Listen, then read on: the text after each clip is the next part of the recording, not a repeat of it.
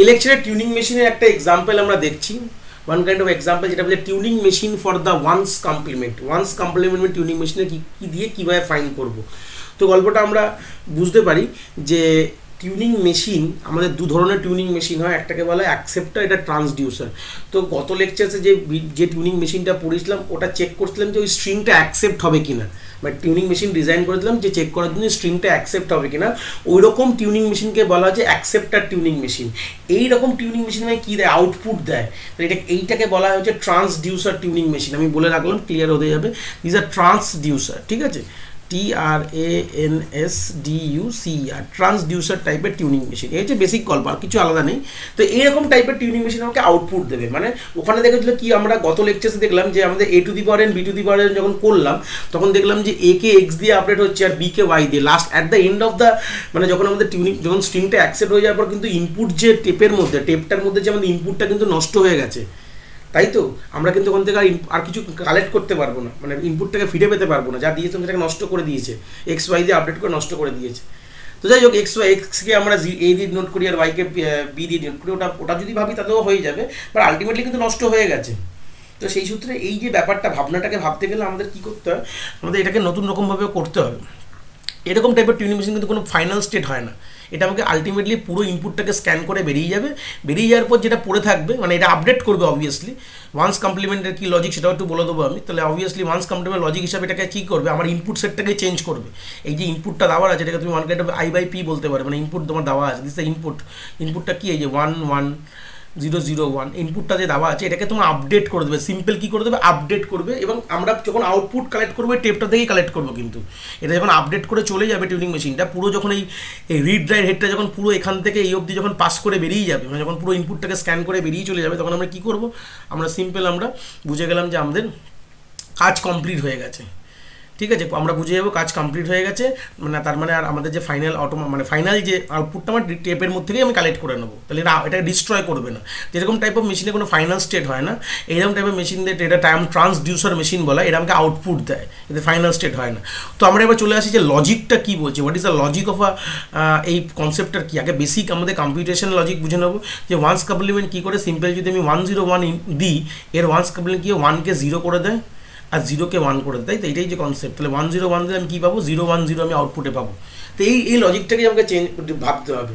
তো এখানে আশা করি ভাবনার কোনো বিষয় নেই, আমরা পুরো ক্লিয়ার মানে ফার্স্ট ইনিশিয়াল স্টেট আমরা এখানে ছোটো ছোটো করে ড্র করে নেব। এবং এখানে এই প্রবলেমটার জন্য একটা জিনিস আমাদের মাথায় রাখতে হবে, সেটা আমি বলে দেবো। তো ইনিশিয়াল স্টেটে কী পেতে পারি? আমি ওয়ান পেতে পারি।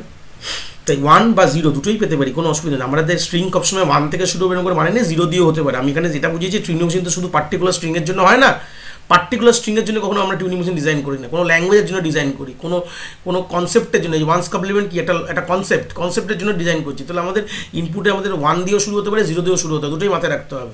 তাহলে চলে আসি। তাহলে ইনপুটে যদি আমাদের ওয়ান দিয়ে শুরু হয়, তাহলে আমি ওয়ানকে কী করব? ওয়ানকে আমি সিম্পল জিরো করে দেবো, কোথায় মুভ করব? রাইটের দিকে মুভ তাহলে এই দিকে মুভ করব আলটিমেটলি মুভমেন্ট সব কিন্তু এইদিকেই হবে, ঠিক আছে? এটা কি? রাইটের দিকে মুভ এটা রাইট এটা লেফট ঠিক আছে? একদম সিম্পল ডান দিক, বাঁ দিক। আমাদের আমাদের যে স্ক্রিন হিসাবে যদি ভাবো, এটাও ডান দিক হয়, আমার তোমার ডান হাত এদিকে আছে, তোমরা যারা দেখছ, আর এপারে হচ্ছে বাঁ হাত। ঠিক আছে, এই সূত্রে আমাদের ডান দিক, বাঁ দিক। তো আমাদের ওয়ানকে আমরা কি করব? জিরো দিয়ে আপডেট করব রাইটে মুভ করে যাব, যদি ওয়ান দিয়ে শুরু হয়। সেম আমি কি বললাম, যদি এরকম হতে পারে জিরো দিয়ে আমাদের ইনপুট স্ট্রিং শুরু হয়েছে জিরোকে আমি কি করব? আপডেট করে দেবো ওয়ান দিয়ে রাইটে মুভ করে যাব। সিম্পল করতে থাকব এটা কন্টিনিউয়াস তাহলে কী হলো? জিরোকে আমি কি করলাম?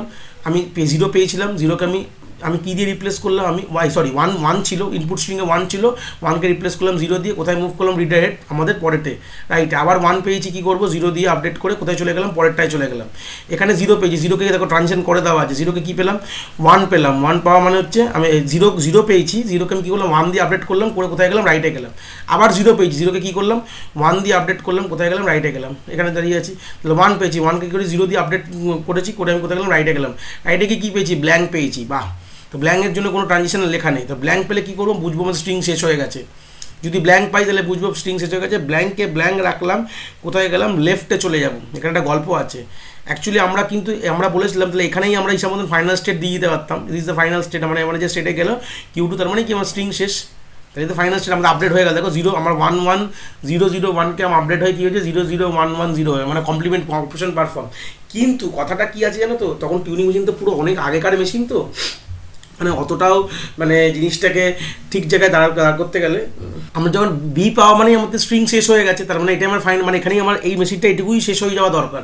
কিন্তু যেহেতু এটা অনেক প্রথম দিককার কনসেপ্ট ফার্স্ট মানে একদম কমপ্লিট কম্পিটিশন মেশিন বলতে পারি টিউনিং মেশিনকে যে কোনো মেশিন যে ডিজাইন করবে এগুলো সব রকম কম্পিটিশন করতে হচ্ছে তো আমাদের কি করতে হবে, এই রিড রাইট কন্ট্রোলটাকে আবার ফ্রি দিতে হবে ইনিশিয়াল ইনপুটে কি বললাম? রিড রাইট কন্ট্রোলটাকে আবার ফ্রি দিতে হবে কোথায়? আমাদের ইনিশিয়ালতে ফিরিয়ে দিতে হবে। মানে যেখান থেকে শুরু হয়েছিল আমার, এই জায়গাটা, এই জায়গাটাকে এখন তো রিডার হেডটা এখানে নেই। এখানে তো নেই, এটা এটা আপডেট হয়ে এখানে গেছিল, এটা আপডেট হয়ে এখানে গেছিল, এটা আপডেট হয়ে এখানে গেছিল। এই করতে করতে রিডার এই জায়গায় দাঁড়িয়ে আছে। যেই ব্ল্যাঙ্ক পেলাম, কোথায় গেলাম? ব্ল্যাঙ্ক পাওয়ার মানে ব্ল্যাঙ্ক ব্ল্যাঙ্ক রেখে লেফট মানে এই জায়গায় দাঁড়িয়ে আছে মানে লাস্ট অপারেশনে দাঁড়িয়ে আছে। তো এখানে আমাদের এই যে রিডার হেডটাকে আমাদের ফিরিয়ে আমাদের ইনিশিয়ালে নিয়ে আসতে হবে। কেন পরে যখন পরের বার যখন কেউ এটা আউটপুটটা কালেক্ট করতে হবে সে কিন্তু ইনিশিয়াল দিয়ে কালেক্ট করবে, নিশ্চয়ই লাস্ট দিয়ে কালেক্ট করবে না। তো ইনিশিয়াল যেখানে রিড রাইড হেড পয়েন্ট করবে, সেখান থেকেই কিন্তু আমাদের কাম মানে ও কালেকশনটা শুরু হবে। তো যদি এখানে ছেড়ে দিই আমি, যদি এই জায়গাটা ছেড়ে তার মানে কি? ও কালেকশন কিছু পাবে না।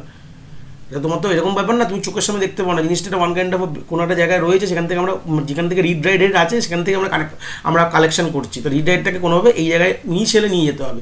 যে কোনো বইতে দেখবে এরকম স্ট্যান্ডার্ড ডিজাইনিং করে দেওয়া আছে। তো এখানে যদি নিয়ে যেতে হয় রিড হেডটা কী হবে? সিম্পল লজিক যা আছে তাকে তাই রাখো, চলে যাও। জিরো থাকলে জিরো জিরোকে জিরো রাখো, আমি লাইটে চলে যাও মানে এখানে চলে যাও। যা আছে এখান থেকে এখানে চলে যাও। যা আছে এখান থেকে নিচে রেখে তাই চলে যাও। যা আছে এখান থেকে রেখে তাই চলে যাও। যা আছে এখানে রেখে চলে যাও। যেই আমি ফার্স্ট ব্ল্যাঙ্ক পাবো, তার মানে কি আমি আমার মা দিকে চলে গেছি। লেফটে চলে গেছি। যেই ফার্স্ট ব্ল্যাঙ্ক পেলাম, তার মানে আবার কার্সারকে ঘুরিয়ে আবার এই তারপরের স্ট্রিংয়ে ব্ল্যাঙ্ক পাওয়া মানে কি? সেটা আমার অলরেডি আমার যে আউটপুটটা এখানে শেষ হয়ে গেল ব্ল্যাঙ্ক পেয়ে গেছে, তার মানে আবার ঘুরিয়ে আমাদের রাইটে নিয়ে আসতে হবে। তাহলেই আমাদের, এটাই আমাদের স্টার্টিং স্টেট ছিল। চলে আসি। তাহলে আমি কী পেলাম, কী বললাম? যা ছিল মানে জিরোকে জিরো রেখে কোথায় গেলাম? রাইটে মুভ লেফটে মুভ করছি। ওয়ানকে ওয়ানে রেখে কোথায় যা আছে তাকে তাই রেখে আমি লেফটে মুভ করে যাচ্ছি। যেই ফার্স্ট ব্ল্যাঙ্ক পেলাম, তার মানে বুঝলাম যে আমার চলে এসছে রাইটে মুভ করলাম, নিয়ে করে আমি এই যে কিউ থ্রিতে শেষ করে দিলাম। এটাই কিন্তু আমার গল্প। এখানে এবার কি রিটাইড আমার এই জায়গায় দাঁড়িয়ে আছে, যদি ভেবে দেখি। এবার এটাই আমার যেখানে ইনিশিয়াল এটাই আমার ফাইনাল এবার এখান থেকে যখন যে কালেকশন করতে হবে সেখান থেকে তুলে নেবে। সে, সেও, সে সিম্পল রিটার হেডকে এক করে মুভ করে সে আউটপুটটা নিয়ে নেবে। এইটাই কিন্তু কনসেপ্ট এই জায়গাটা, এই জায়গাটায় এই ডাই ডিজাইনে এটাই কনসেপ্ট যেটা ওয়ান্স যেরকম দেখালাম সেম টু এর জন্য সেম হবে। আমরা রিটার হেডকে আবার ব্যাক টু অরিজিনাল পজিশনে নিয়ে আসব। তার জন্য কী করতে হবে? সিম্পল বুঝতেই পারলাম। যা ছিল তাই রাখব লেফটে মুভ করাবো। যেখানে ফার্স্ট ব্ল্যাঙ্ক পেয়ে যাওয়া মানে কি? ব্ল্যাঙ্ক পাওয়া মানে যে আমাদের হয়ে গেছে, এই যে ব্ল্যাঙ্ক পেয়ে গেছি ব্ল্যাঙ্ক পাওয়া মানে আমাদের চলে এসেছি, আমরা ফাইনাল আমাদের যে ইনপুটটাকে ক্রস করে ফেলেছি, যে ইনপুটটা দেওয়া ছিল, এখন আউটপুট যেটা রেডি আছে, সেটা ক্রস করে ফেলেছি, আমি সিম্পল আবার রিডাইটকে রাইটে মুভ আর রাইট মানে রাইট মানে এই জায়গাটা পয়েন্ট করে অরিজিনাল জায়গায় বসে আছে। তো আশা করি আমরা বুঝতে পেরেছি কাকে বলে ওয়ান্স কমপ্লিমেন্ট কীভাবে ডিজাইন করব আমরা।